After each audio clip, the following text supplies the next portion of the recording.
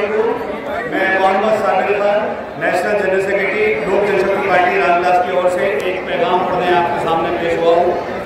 उस पैगाम का मफहूम यह है, हमारे देश में अहिंसा, प्रेम और शांति की स्थापना करने में महान सूफी संतों की समृद्ध परंपरा रही है। यहाँ ऐसे कई तीर्थ स्थान हैं, जहाँ हर धर्म के लोग आस्था के साथ आते हैं। ऐसा ही एक तीर्थ स्थान हज़रत ख्वाजा मुनुद्दीन चिश्ती रहमतुल्लाह की दरगाह अजमेर शरीफ है।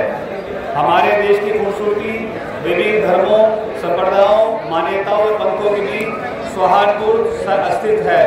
अनेक सूफी संतों ने, पीरों और फकीरों ने समय समय पर देश में शांति, एकता, प्रेम और आपसी भाईचारे का पाठ पढ़ाया है। हज़रत ख्वाजा मुनुद्दीन चिश्ती रहमतुल्लाह भारत की महान आध्यात्मिक परंपरा के प्रतीक हैं।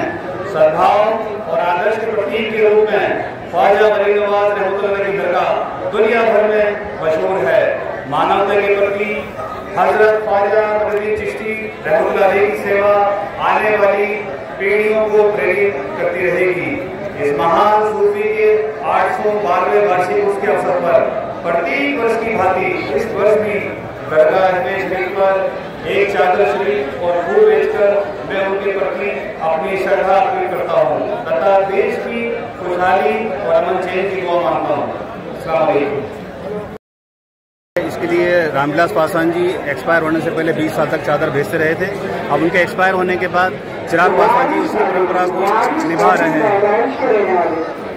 और मैं यहाँ पिछले 25 साल से ये चादर शरीफ पेश करता आ रहा हूँ पासवान जी की और चिराग पासवान जी की तरफ़ से।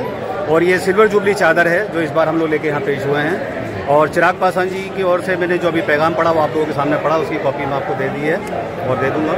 और हम लोग यही चाहते हैं कि पूरे हिंदुस्तान में गंगा जमनी तहजीब का परचम कायम रहे और यहाँ अमन और चैन कायम रहे। अस्सलाम वालेकुम। मैं Mohammad Sabir Khan, national general secretary Lok Janshakti Party, Ramvilas, Delhi से।